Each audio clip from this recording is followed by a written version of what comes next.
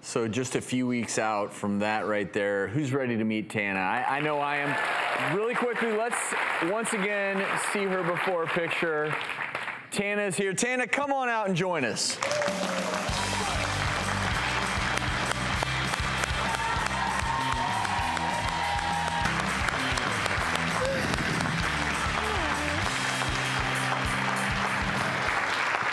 Thank you. I am glad that you are no longer afraid to smile because you have a beautiful smile, Tannha. Thank you so much.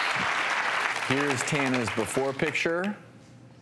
And now here is her after.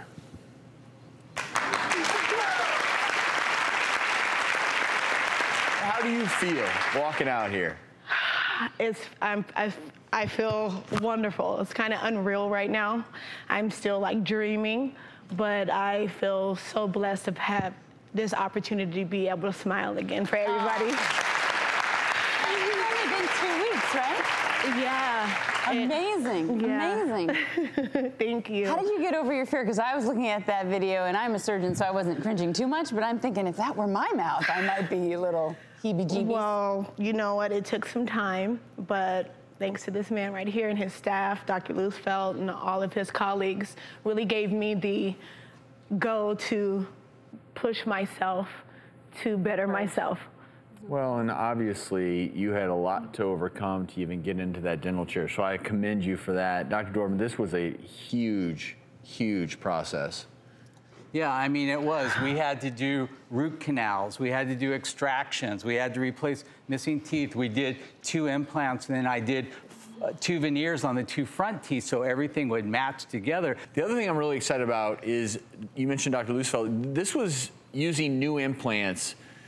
And we can see for folks out there watching, they probably struggled watching you put the implants in. But the- these are revolutionary in some ways. Yeah, it's a trabecular metal implant by Zimmer. So the implant's porous.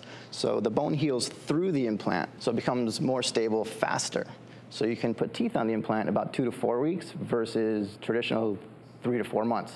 With, with implants like this, are are these so with the bone growing in? The, there, she's not going to be able to tell the difference between these implants and, and her normal tooth. No, it's the same.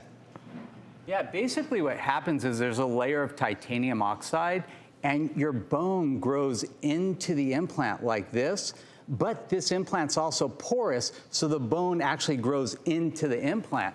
So Wow. we finished this two weeks ago. We put her implants in, and literally yesterday, we cemented on all of her teeth. And So we're, so we're gonna play. later. Let's play a little game. Santa, the little game we're gonna play is called "Try Not to Smile." Okay.